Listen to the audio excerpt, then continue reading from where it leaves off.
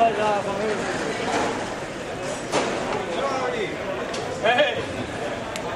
happy Thanksgiving.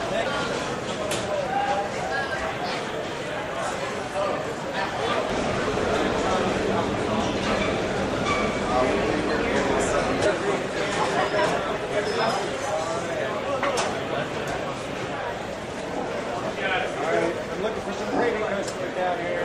Oh, Baker. Else.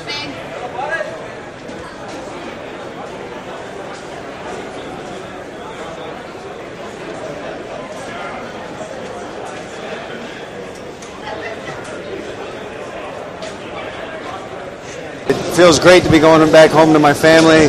I'm a little sad to leave Iraq because it's my fourth year that I've spent here. So part of me's here as part of my home, and but my main home is with my family.